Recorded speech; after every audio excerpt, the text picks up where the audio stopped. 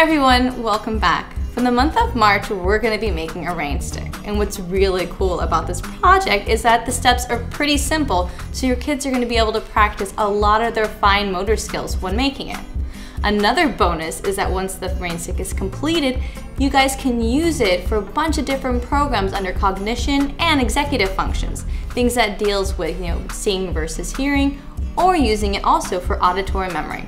But we'll get to that later. First, we gotta make the rain stick. So the materials you'll be needing are a paper towel roll, tape, paper, aluminum foil, rice, and any kind of materials you want to use to decorate your rain stick with. All right, let's get to it. So the first thing you wanna do is get a piece of tin foil that's about double the length as your paper towel roll.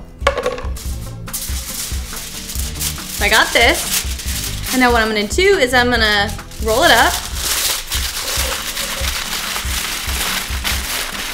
Like so, and I'm gonna wrap my paper towel roll with it. Okay, and don't worry if it's too messy, okay? This is just to give us a basic shape. Now once I've got this, I'm gonna make it a little bit tighter, and I'm gonna roll it and stick it inside of my paper towel roll. I wanna make sure that it goes all the way through the paper towel roll. And what this does, it acts like a buffer so the rice will go down slowly through the tube.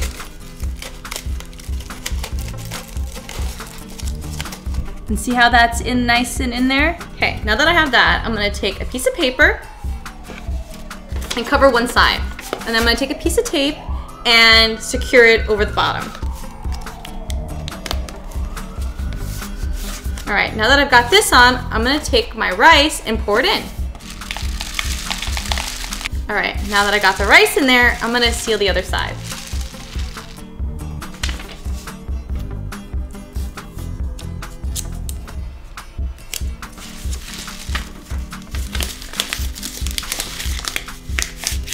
Now that this is constructed, don't forget to use your imagination to decorate this any way that you want.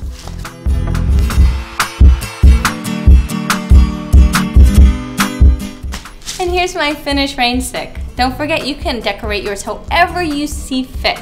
I decided to use tape and pipe cleaners, but you could always paint it, add sparkles, just whatever you feel like doing. Now that this is done, let's take a listen to it.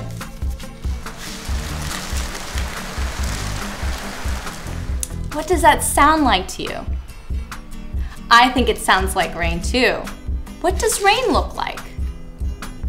Ah, that is what rain looks like. You can ask them a whole bunch of different questions using this after it's already been made. Well, until next time, craft on.